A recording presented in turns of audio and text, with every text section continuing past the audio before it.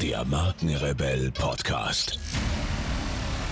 Spannende Interviews, wertvolle Strategien und provokante Botschaften für Führungskräfte und Unternehmer.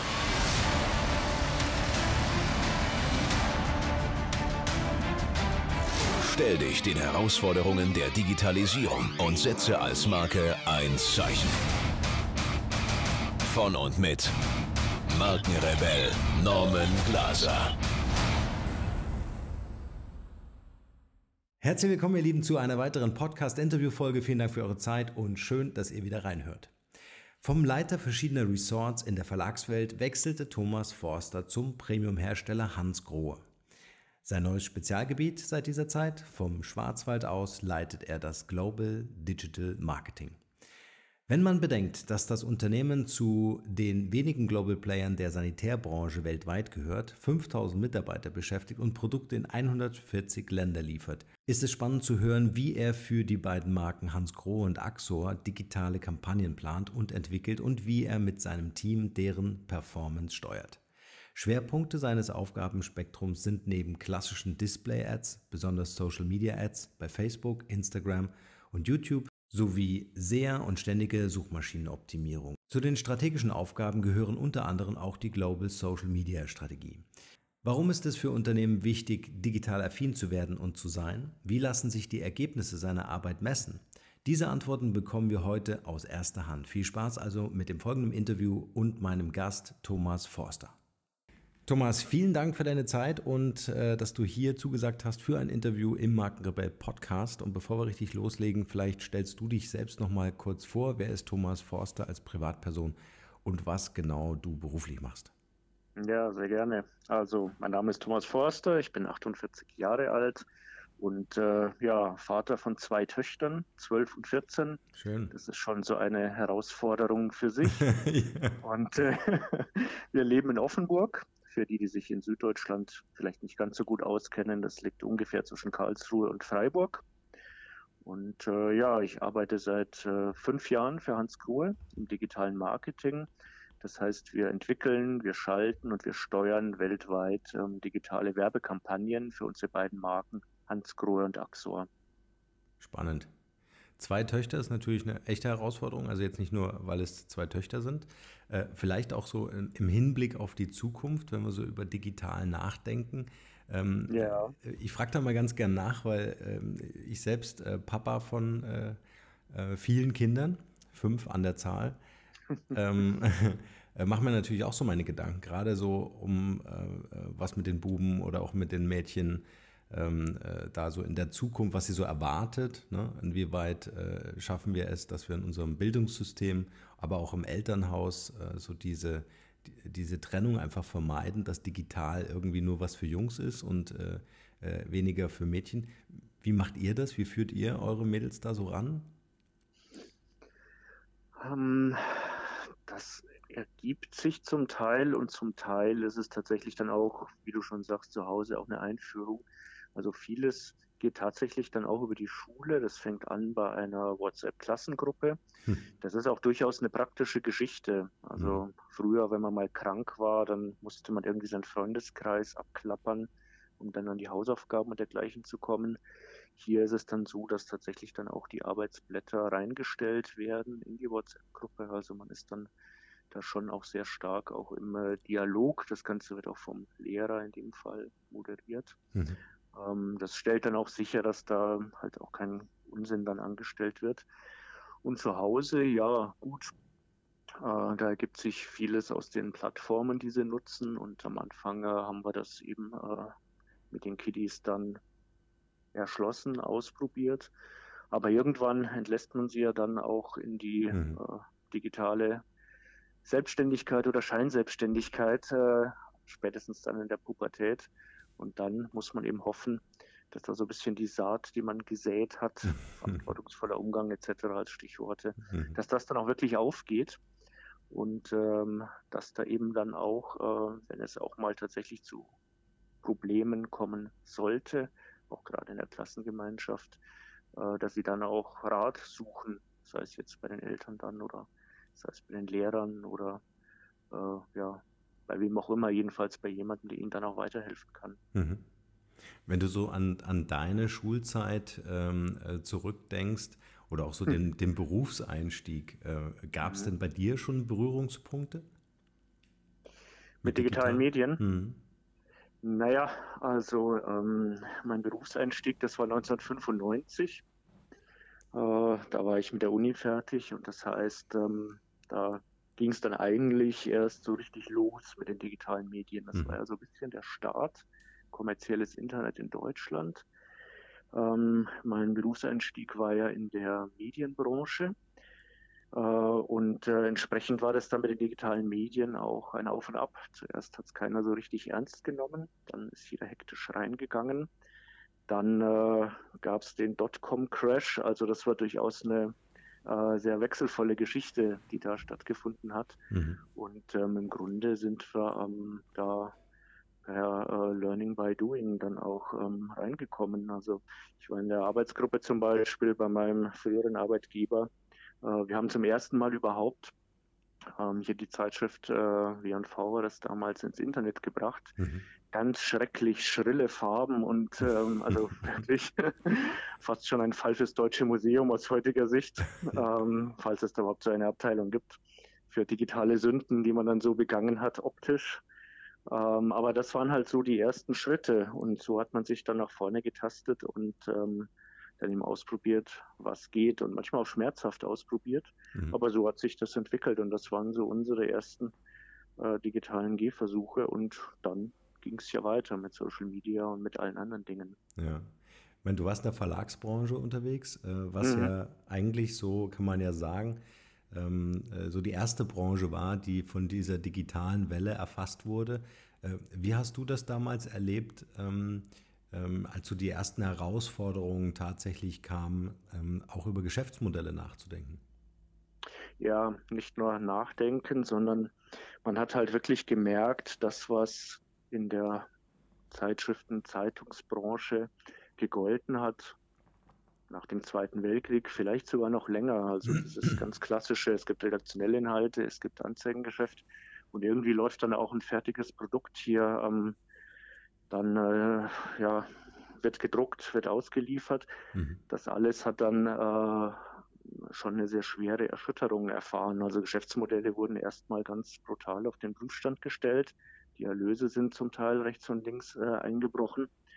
Ähm, die Verlage waren damit beschäftigt, dann sozusagen einerseits die neuen Chancen wahrzunehmen, andererseits auch hinten raus dann zu retten, äh, was dann noch äh, gerettet werden kann. Also es war zum Teil schon sehr ähm, dramatisch, aber für mich als äh, Jungspund sozusagen von der Uni war das eben auch sehr spannend. Mhm.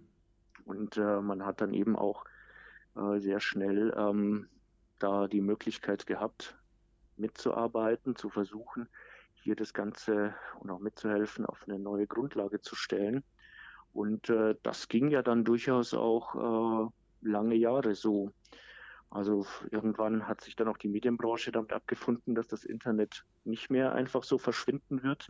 Und dann war so der Zeitpunkt tatsächlich da, wo man dann auch wirklich ernsthaft, auch mit, ich sage jetzt mal, gestandenen, sehr erfahrenen Verlagsmanagern wirklich darüber sprechen konnte, wo liegen unsere Chancen mhm. und äh, wie müssen wir versuchen, da sozusagen einigermaßen sinnvoll dann auch vorzugehen. Und äh, einige Verlage waren da sehr stark äh, vorne dran. Ähm, Spiegel Online ist jetzt so der Klassiker, der da genannt wird. TV mhm. Movie übrigens auch, mhm. im Jahr 1995. Und wir alle anderen haben uns da allmählich äh, rangetastet und heute sind ja aus bestimmten Verlagsbereichen die neuen Medien auch nicht mehr wegzudenken. Ich denke so an ähm, Jobmarkt, ne? Mhm. So diese ganzen Geschichten. Also da ist es ja heutzutage wirklich sehr normal, die einschlägigen Portale dann da aufzurufen. Und das ist auch gut so, weil ähm, so entwickeln wir uns halt alle weiter. Und äh, ich denke, das war eine spannende Erfahrung für uns alle. Ja. Wie, wie, wie bist du dann bei Grohe eingestiegen, beziehungsweise was hast du vorgefunden? Mhm.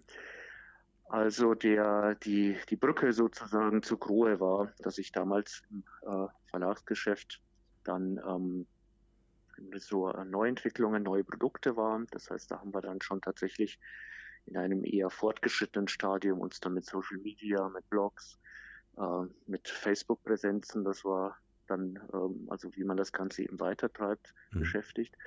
Und äh, das war dann auch der Berührungspunkt oder die, die Brücke, die inhaltliche Brücke zu Hans Krohe. So und bei Hans Krohe war nun ähm, die Situation eben die, dass es ähm, eine Online-Redaktion äh, gab und dass es eben da die berechtigte Vorstellung gab, dass man eben hier ähm, einerseits für eine Art ähm, Global Branding eine, ähm, einen zentralen Ansatz benötigt und den dann wiederum äh, ergänzt um äh, lokale Inhalte. Also wenn man so will, so ein bisschen vorgeht wie eine ähm, Lokalzeitung. Man hat einen Mantelteil mhm. sozusagen als weltweiten Aufschlag und dann haben die einzelnen Länder sozusagen lokale Inhalte. Also dass man da durchaus von den Inhalten her gedacht hat, ähm, das Ganze dann entsprechend äh, umgesetzt hat über die Websites, auch über die ähm, YouTube-Channels, ähm, Social Media und so weiter.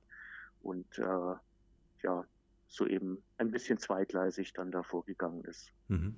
Kannst du uns nochmal einen kleinen Überblick geben, äh, was das Unternehmen Grohe ist? Also ich habe eine Badarmatur, da steht es drauf, aber natürlich nicht so umfassend.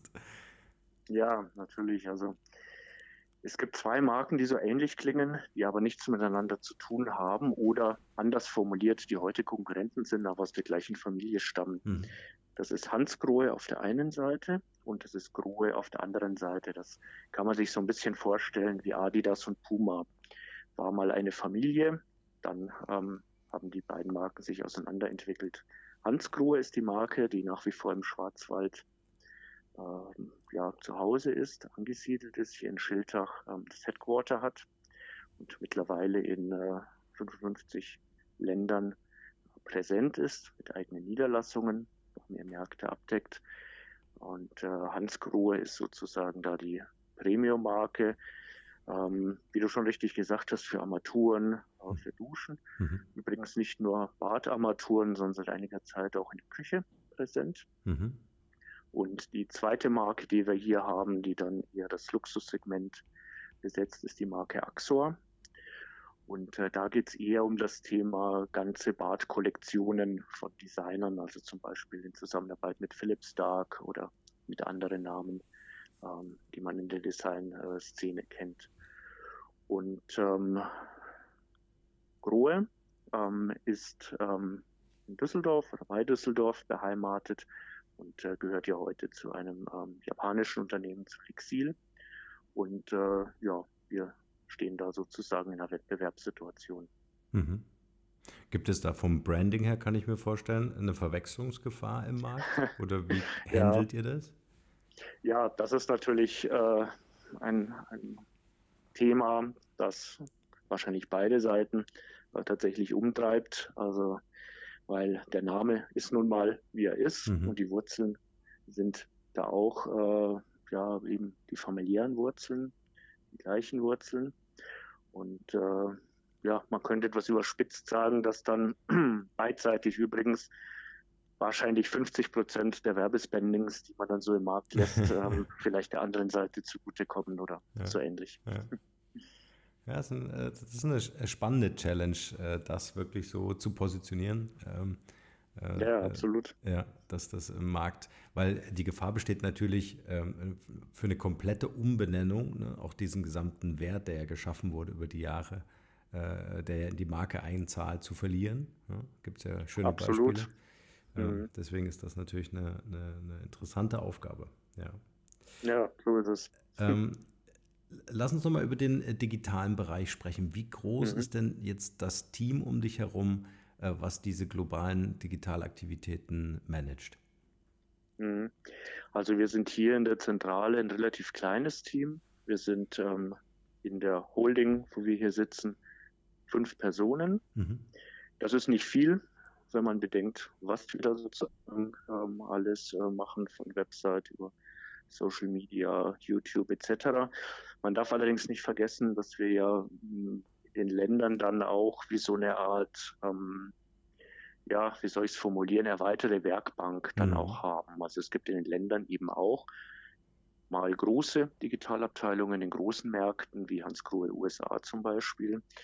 mal kleinere. Ähm, denkt da an Südafrika, Türkei. Also es schwankt so ein bisschen zwischen den Märkten, aber da gibt es eben eine stetige Interaktion und gemeinsame Projekte und ein gemeinsames Vorgehen. Und wenn man das Ganze jetzt ein bisschen ganzheitlicher sieht, dann sind wir ja doch immerhin im Bereich Marketing und Kommunikation dann 500 Leute overall. Mhm. Das heißt also, da kann man dann auch schon mal ähm, das eine oder andere auch größere Projekt äh, dann anschieben. Mhm. Außerdem haben wir so eine kleine Arbeitsteilung. Ähm, mein Team äh, hat äh, da den Schwerpunkt ähm, Vermarktung. Das heißt, bei den Inhalten, äh, da arbeiten wir dann auch mit, ähm, mit Partnern, mit zum Teil freien Journalisten, mit Agenturen etc. zusammen, sodass wir dann das eigentlich ganz gut äh, zusammenführen können auf den verschiedenen Plattformen. Mhm. Was ich auch ganz spannend finde, ist, ähm, beobachte, dass so die Grenzen etwas verschwimmen zwischen Vertrieb, Marketing äh, und den äh, Inhouse Digital Divisions. Äh, stellt ihr das auch fest, dass das äh, immer mehr ähm, sich so ein bisschen, ähm, ja, so, so, dass immer mehr so Überschneidungen gibt, dass es gar nicht so stark getrennt wird? Ähm, ja, die Überschneidungen ähm, gibt es. Das hat, glaube ich, ganz unterschiedliche Gründe. Ähm, zum einen, es gibt zwar so ein bisschen, wenn man, wenn man so will, die Arbeitsteilung zwischen dem, dem Branding, also was man erreichen möchte, ähm, und andererseits dann den Aktivitäten, die dann eher zum, in unserem Fall zum Handel, zum Endkunden gehen, auch zum POS dann sozusagen gehen. Aber ähm, die gesamte, die gesamte Kette dazwischen und alle Möglichkeiten, die sich dazwischen ähm, auftun und bieten, die sind auch sehr stark digitalisiert. Also mhm. ich denke da auch an, an Werbeformen wie ähm, Digital Out of Home Media.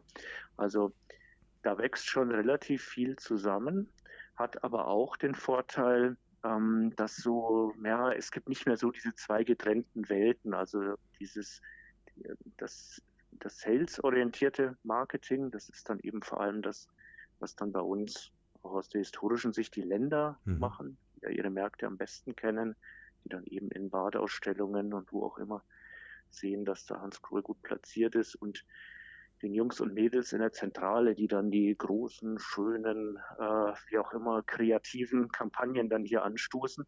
Also da wächst auch schon viel zusammen und das würde ich sagen, ist dann da eindeutig der positive Aspekt, dass man da als Unternehmen auch nicht mehr so in, in zwei Welten dann irgendwo unterteilt ist. Mhm. Lässt sich sagen oder eine Aufteilung geben, wie ihr verkauft, also äh, welchen Anteil online am Umsatz, äh, welchen vielleicht auch im, im stationären Handel mit Kooperationspartnern? Lässt sich das irgendwie aufteilen? Ähm, das ist sehr schwer zu beantworten, weil es auch zum Teil von den Märkten abhängt. Also mhm. in den Märkten wie Deutschland, wo Hans Krugel logischerweise schon sehr lange, eben am längsten tätig ist, da gibt es für uns den traditionellen, den mehrstufigen Vertrieb. Das heißt, Hans Krugel ähm, verkauft da nicht direkt an den Endkunden, sondern eben über den Handel. Mhm. Das kann dann wiederum in anderen Märkten mit anderen Strukturen dann wieder ganz anders aussehen. Äh, deswegen ist das mit, mit diesem Prozentsatz immer so ein bisschen schwierig zu beantworten, weil natürlich kann man Hans Grohe Produkte auch ähm, bei Amazon zum Beispiel kaufen oder mhm. bei anderen Online-Plattformen. Aber da sind dann in aller Regel ähm, tatsächlich dann die, die Handelspartner am Werk und jetzt nicht in erster Linie sozusagen wir als Hersteller. Mhm. Also das ist auch keine Strategie von euch, so eine E-Commerce-Strategie äh, zu fahren, sondern das wird in der um, Regel über Partner. E-Commerce E-Commerce-Strategie schon, aber da geht es ähm, tatsächlich in erster Linie auch darum, ähm, die Partner äh, dazu enablen, okay. sozusagen. Mhm. Aber wir sind da auch durchaus mit äh, beispielsweise mit Amazon direkt in Kontakt oder mit anderen Online-Händlern, weil die sind ja für uns dann in dem Moment eben auch Handelspartner, äh, wie eben der klassische ja, mhm. Sanitär, Händler, mhm. Handwerker, wie auch immer, um die Ecke. Also da merkt man schon, ähm, die Zeiten ändern sich auch. Und äh, da geht es dann auch schon drum, ähm, was wird da auf den Plattformen ähm, benötigt, auch digitaler Content entsprechend. Ähm, wie kann man da Erfolge sozusagen auch messen. Klar, einerseits über Verkaufszahlen, aber andererseits ist es ja schon so, ähm, wir haben zwar 1,3 Milliarden Umsatz, aber es ist natürlich schon so, dass wir auch in Sachen Markenbekanntheit da auch noch Hausaufgaben haben. Und ähm, das muss eben dann im Marketing auch mehr oder weniger alles gleichzeitig funktionieren. Und da spielen aber auch jenseits des Digitalen auch durchaus klassische Ansätze noch eine Rolle, wie jetzt hier zum Beispiel ähm, die äh, Tour de France, die jetzt stattgefunden hat, mhm. wo wir ja mit Bora Hans Grohe auch ein eigenes Team am Rennen hatten. Also da erhoffen wir uns schon auch nochmal bei der Markenbekanntheit ähm, nochmal ein bisschen äh, zulegen zu können. Mhm. Ich glaube, am Ende ist es sowieso ein Marketing-Mix, den es geben muss. Ähm, Absolut, ähm, äh, ja. Digital ersetzt nicht äh, offline oder, oder, oder analoges Marketing, wie auch immer man das nennen möchte, äh, sondern es, es muss ein, ein, sinnvoller, und das ist ja immer eine individuelle Betrachtung, je nach Unternehmen, ein sinnvoller Mix am Ende des Tages sein. Ja, ja und eben bei uns diese Verzahnung, also mhm. wenn man bei uns auf der Website ist, dann versuchen wir da schon von der sogenannten Customer Journey alles äh, abzubilden, aber es endet eben zumindest in Deutschland an der Stelle, wo wir dann über unseren Shopfinder wenn man so will, den Online-Kunden an den Händler vor Ort dann sozusagen übergeben, in mhm. Anführungszeichen. Mhm. Es gibt ja den schönen Begriff Data-Driven Marketing. Ist es äh, ein ja. Begriff, der äh, auch bei euch eine in, in ganz wesentliche Rolle einnimmt? Und wenn ja, welche? Ja, ähm, Data-Driven Marketing, das ist äh, in vielerlei Hinsicht ein Thema und auch eine Herausforderung. Und da sind wir auch sicher äh, noch nicht da, wo die Reise am Ende hinführen wird. Zum einen ähm, geht es darum, dass wir im Bereich B2B aus traditionellen Gründen recht stark aufgestellt sind, dass wir aber sicherlich, und da kommt das Thema Daten ins Spiel, im B2C-Bereich noch stärker sein müssen. Und auch da gibt es durchaus viele Touchpoints, sei es über Messeausstellungen, über den Handel sowieso, sei es über die Website-User, sei es über das, was uns via Social Media erreicht. Also bei Facebook zum Beispiel, wenn jemand ähm, ein Endkunde da Hilfestellung braucht, äh, dann kann das schon sein, dass er dann da bei uns landet. Also da gibt es eine Vielzahl von Daten, auch ähm, aus äh, ja, Werbekampagnen international generiert. Ähm, da ist Big Data dann tatsächlich äh, auch wirklich ein großes Thema und in diese Verarbeitung, in die sinnvolle Interpretation der Daten, mhm. Clusterbildung. Ähm, wir arbeiten hier auch sehr stark mit Persona zum Beispiel, Personas. Ähm, in, in all diese Fülle äh, zahlt das Ganze ein. Und äh, das wird mit Sicherheit noch eine ganz große Herausforderung sein für das Haus, diese Daten zu sammeln, nochmal neu zu bündeln. Ich denke auch in dem Bereich CRM und äh, das dann eben tatsächlich für jede Abteilung entsprechend aufzubereiten. Also das ist ähm, sicherlich nochmal ein ganz dickes Brett, das zu bohren ist. Mhm. Wie sieht da, vielleicht kannst du das mal kurz skizzieren für uns, damit wir so eine Vorstellung kriegen, wie sieht so das Projektteam aus und was habt ihr euch für einen Zeitraum gesetzt, um euch diesem Thema weiter zu nähern? Also das wird auf jeden Fall ähm, eine Geschichte sein, ähm, die ja, ich würde sagen, im Laufe des nächsten Jahres eine ähm, nochmal eine schöne Fortsetzung erfahren wird. Mhm. Wir sind jetzt soweit auch technisch, dass wir da Ansätze, die es ja schon gibt, auch durchaus toolgestützte Ansätze haben, zum Teil noch ergänzen müssen, aber wo wir dann wirklich Dinge ab dem kommenden Jahr auch schon werden zusammenführen können. Und äh, da würde ich mir dann schon erhoffen, dass wir dann da ähm, auch nochmal in neue Dimensionen vorstoßen. Ich denke insgesamt, man kann auch noch das mit einem anderen Begriff beschreiben. Das ist auch ein Aspekt der digitalen Transformation, wenn man so will, im Marketing. Mhm. Mit der Digitalisierung auch von, von Prozessen und auch von ähm, Aufschlägen Richtung B2C, würde ich sagen, wird das aber in jedem Fall ähm, vom Setup her uns die nächsten fünf Jahre sehr, sehr intensiv beschäftigen. Mhm. Ähm, ich würde ganz gern noch ein bisschen auf den menschlichen Aspekt ähm, eingehen. Und zwar ähm, äh, wissen wir ja alle, äh, Menschen kaufen gern von Menschen. Und ähm, jetzt habt ihr ein, ein Produkt, ähm, ähm, das äh, wenn ich jetzt mal das Thema Armatur, Badarmatur äh, nehme, das ja irgendwie emotional aufgeladen werden muss. Ähm, meine mhm. wichtige Erkenntnis über die letzten Jahre war, dass Marke nicht nur bedeutet, Marken zu bauen in Form von Unternehmensmarken, sondern dass vor allem von innen heraus aus dem Unternehmen selbst Persönlichkeitsmarken äh, die Marke dann am Ende die Unternehmensmarke tragen. Wie weit oder wie relevant ist das Thema Personal Branding bei euch? Um, ähm, also Personen, Menschen kommen da würde ich sagen, ähm, in unterschiedlichen Varianten äh, mhm. mit in diesen Prozess hinein. Also zum einen ähm, würde ich sagen, ganz handfest mhm. über den Handel. Mhm. Ähm, der Installateur empfiehlt mir was. Das ist mal so die einfachste Ebene. Mhm.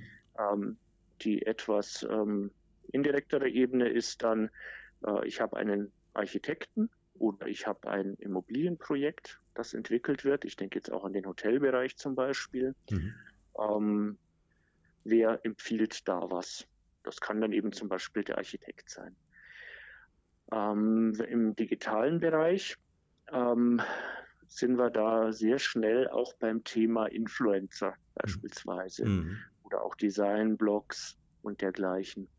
Also sprich, da entsprechend Kontakt zu halten und da diese ja, Multiplikatoren nenne ich sie mal ganz allgemein, egal jetzt ob klassischer Architekt oder wie auch immer, ähm, diese Personen sozusagen für die Marke dann auch äh, immer wieder zu begeistern. Äh, das ist auf jeden Fall ein wichtiger Ansatz. Und da gibt es jetzt verschiedene Möglichkeiten, sei es über Showrooms, äh, die wir haben international, äh, sei es über ähm, Messen und Ausstellungen oder sei es auch hier in Schildach. Wir haben hier eine Shower World, wo man die neuesten, tollsten, riesigen ähm, Duschen mit unglaublich vielen Strahlarten auch mal ausprobieren kann. Hm. Auch das gibt's. Ähm, wir haben auch ähm, Blogger-Events beispielsweise, wo wir dann hier nochmal Insights geben können.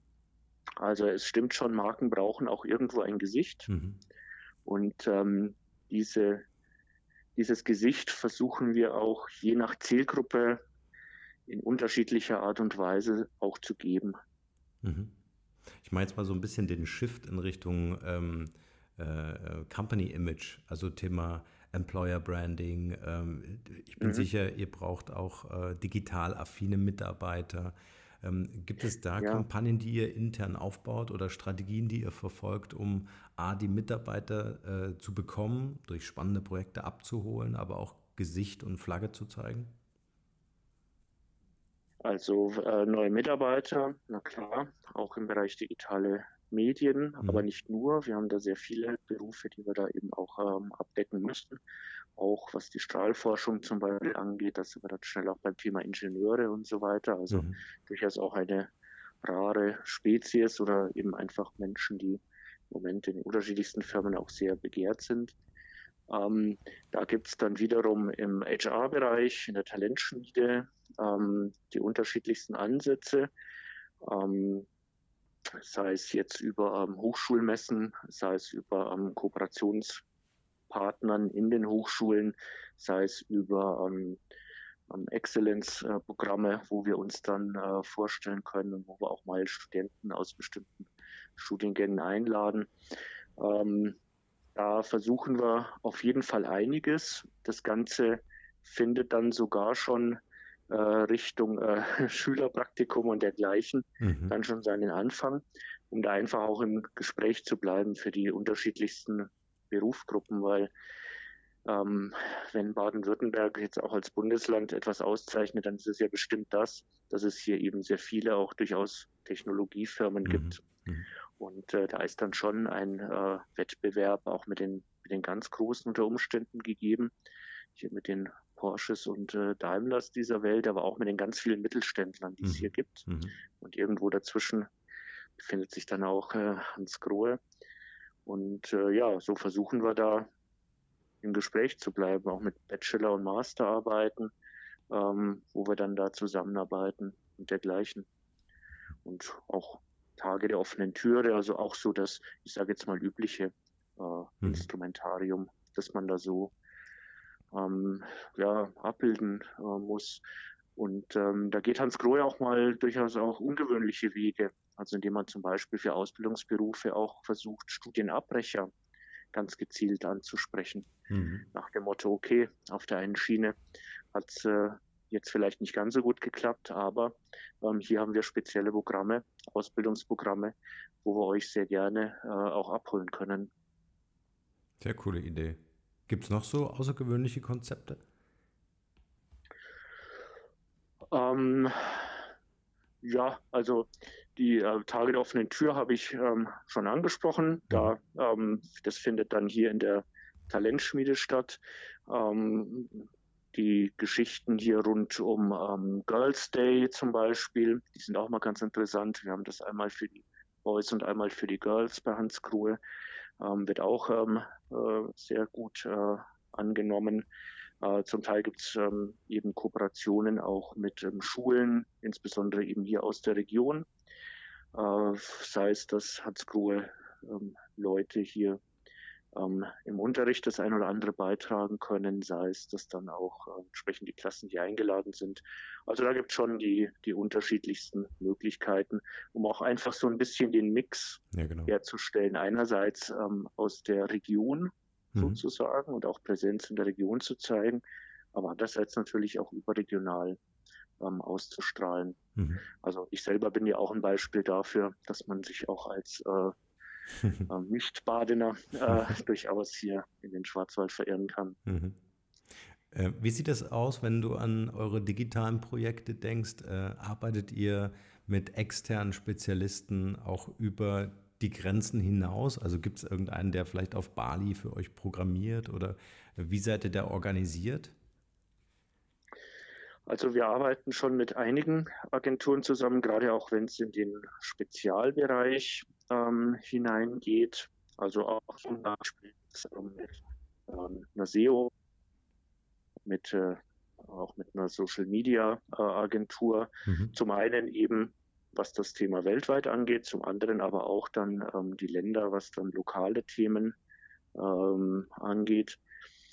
Bei der, ähm, bei allem, was so mit, mit IT und dergleichen zu tun hat, auch da haben die Kollegen äh, ihre entsprechenden Dienstleister. Also ich glaube, wir sind da schon ganz gut vernetzt und es hat auch so für uns den Vorteil, dass wir ähm, auch, glaube ich, ganz gut so am, am Puls der Zeit dann auch sein können, weil sie ja doch immer wieder äh, Dinge auch ändern. Mhm. Wir hinterfragen uns auch regelmäßig. Also die wir auch zum Beispiel ähm, jährliche Workshops machen. Sind wir denn überhaupt noch auf ähm, richtig mit unserer Kanalstrategie?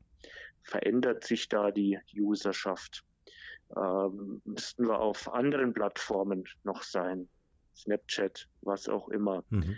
Ähm, wie, wie sind wir da unterwegs? Und äh, dann nehmen wir uns schon viel Zeit, auch mit anderen Abteilungen zusammen und auch mit externen Referenten und durchaus als Workshop-Charakter erarbeiten wir dann und hinterfragen auch dann die Strategie. Wir hatten jetzt auch erst im letzten Jahr eine neue weltweite Social-Media-Strategie entwickelt und aufgesetzt, implementiert. Mhm. Also wir versuchen da schon sehr stark auch ähm, die entsprechenden Impulse dann äh, zu setzen und aufzunehmen. Facebook zum Beispiel war ja zu lesen und so ist es ja auch, wird ja tendenziell eher älter. Ähm, das ist jetzt durchaus für uns, ähm, sag ich mal, eine gute Nachricht, weil ähm, ja normalerweise, wer sich ein Bad einrichtet, auch in einer entsprechenden Lebensphase mhm. äh, sein muss. Also da ist es jetzt gar nicht unbedingt so, dass es dann da der 18-Jährige sein muss. Da darf es auch gerne dann derjenige ab 30 sein, 30, 35, 40. Aber so muss man eben ständig mal gucken und man darf auch nicht vergessen, wir haben natürlich auch Regionen, wo Facebook und Co. und Google weniger wichtig sind. Ich denke jetzt an China. Da sind dann wieder andere ähm, Plattformen entscheidend oder auch zum Teil, ähm, wenn ich an Russland denke, da hat Yandex ja dann auch eine, eine wichtige Rolle. Also das kann durchaus auch von Region zu Region schon äh, sehr unterschiedlich sein, wie wir uns da aufstellen. Mhm. Ähm, wie schaffst du es, also, und man muss das ja global betrachten. Äh, wie schaffst du es, einfach äh, auch auf dem Laufenden zu sein, was so die Märkte angeht, was dort Relevanz hat? Ähm, gibt es da bei euch interne Workshops oder, oder, oder gibt es da so einen Wissensaustausch, so ein Knowledge Management vielleicht? Ja, ähm, das ist natürlich tatsächlich die große Herausforderung. Also zum einen machen wir ja in der Zentrale, ähm, respektive die Kollegen, mit denen wir da zusammenarbeiten aus dem internationalen Marketing, da sind wir mit involviert, gemeinsam mit den Ländern zusammen. Ähm, entsprechend werden da die Marketingpläne aufgesetzt. Es gibt auch quartalsweise Reviews. Äh, da kann man dann schon sehr stark wenn man auch mit den Länderverantwortlichen spricht und wir sind in einem stetigen Austausch, auch schon sehr stark dann die lokalen Besonderheiten gemeinsam herausarbeiten und dann auch gemeinsam entwickeln, äh, wie man das Ganze dann eben auch digital ähm, bearbeiten kann. Mhm.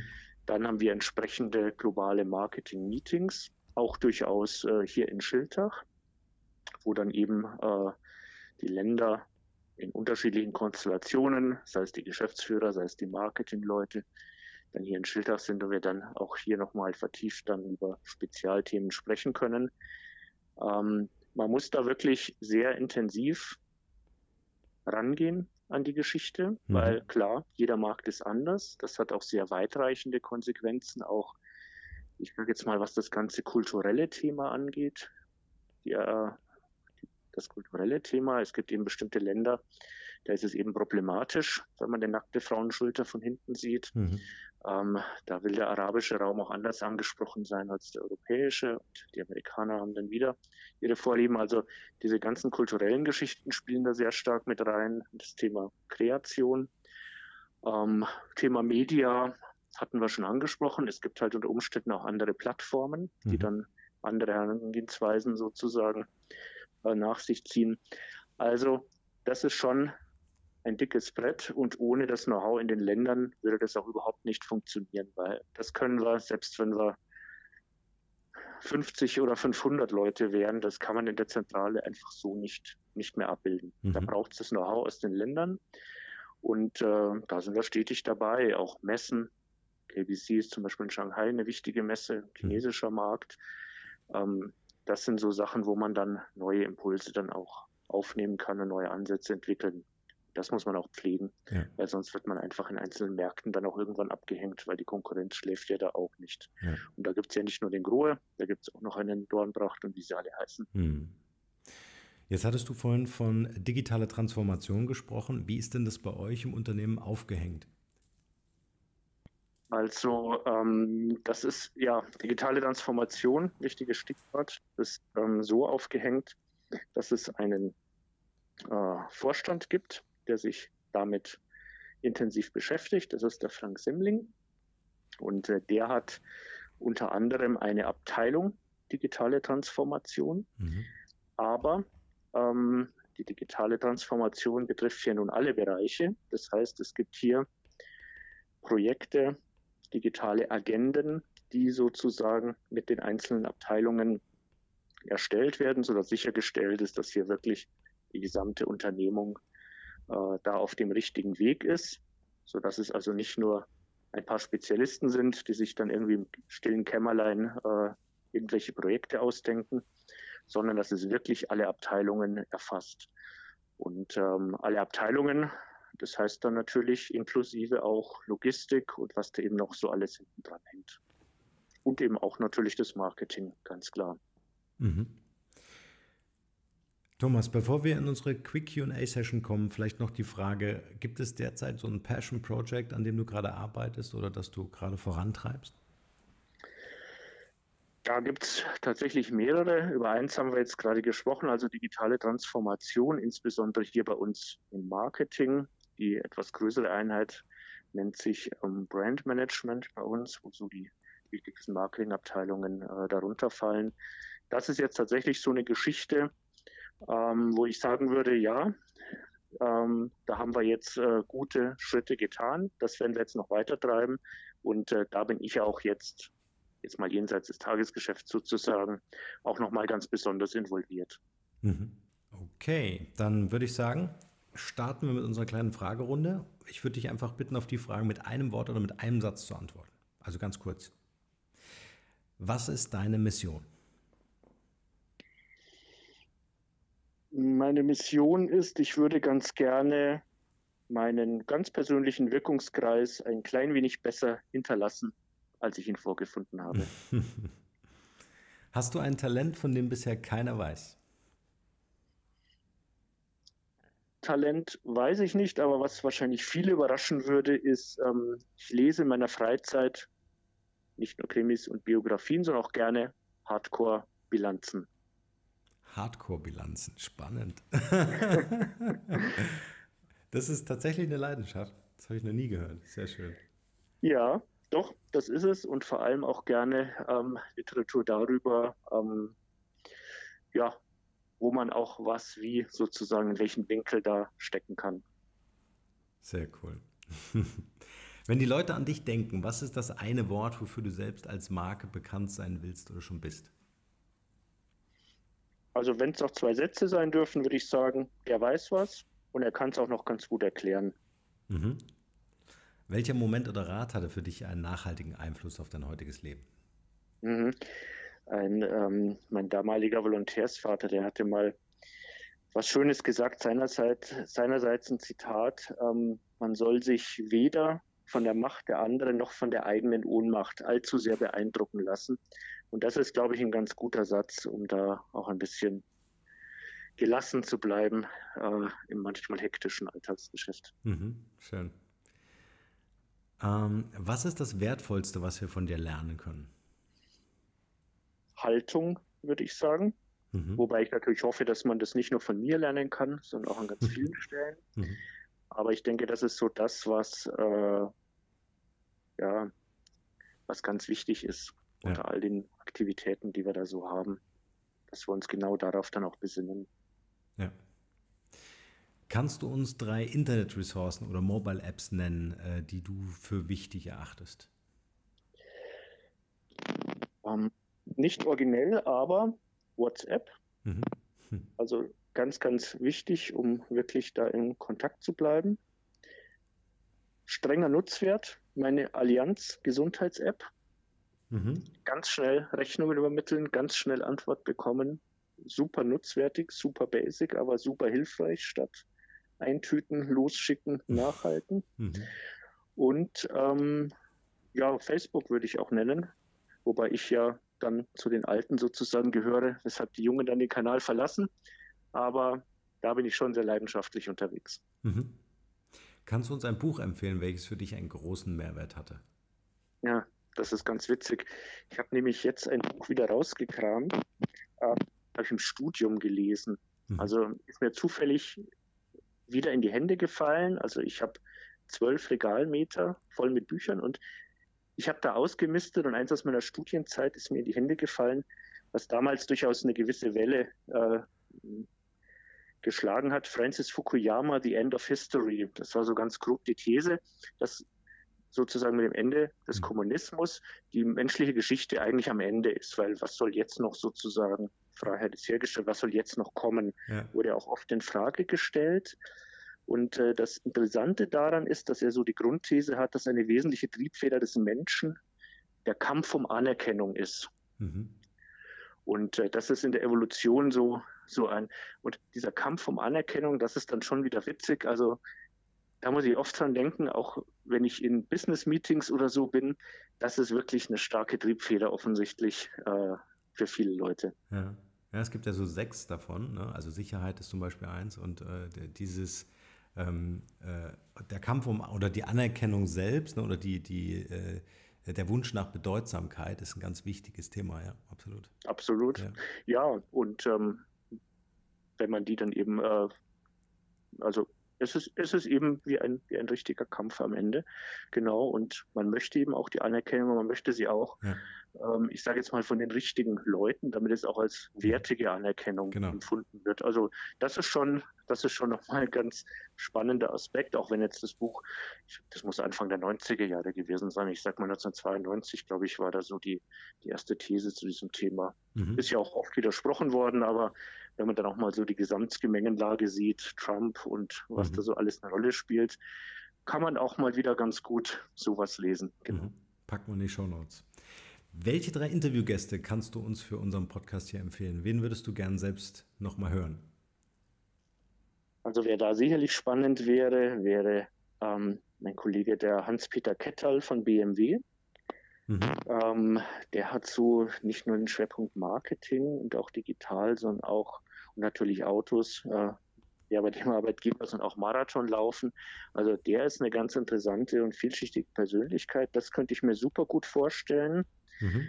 Dann könnte ich mir gut vorstellen, zweiter Tipp, äh, Magdalena Rudel von äh, Microsoft, die einen sehr spannenden Weg genommen hat von der Erzieherin in einer Kita, einer Kindererzieherin hin zu einer der wichtigsten Digitalmanagerinnen bei äh, Microsoft mhm. in Deutschland.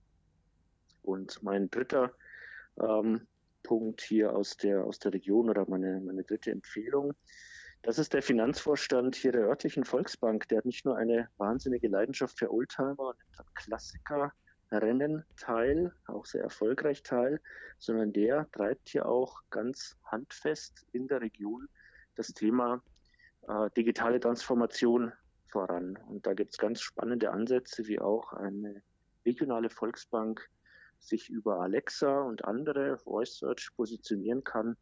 Das ist dann schon äh, ja mal ein wirklich sehr spannender Aspekt, mhm. auch mal von den etwas kleineren in Anführungszeichen her gesehen. Wen sprechen wir da an? Wen ihr ansprechen wollt? Äh, Vorstand der Volksbank? Welche Person? Äh, Andreas Herz. Andreas Herz. Ist der Finanzvorstand, genau. Super. Thomas, damit sind wir am Ende des Interviews angekommen und ich würde dir gern das Schlusswort überlassen mit der Frage, was ist dein bester Tipp für ein glückliches und erfülltes Leben? Ja, ich würde sagen, Carpe Diem, und zwar am besten mit beiden Bedeutungen. Nutze den Tag, aber genieße auch den Augenblick. Schön, das lassen wir genauso stehen. Vielen Dank für dieses Gespräch. ja, ich danke auch. Vielen Dank.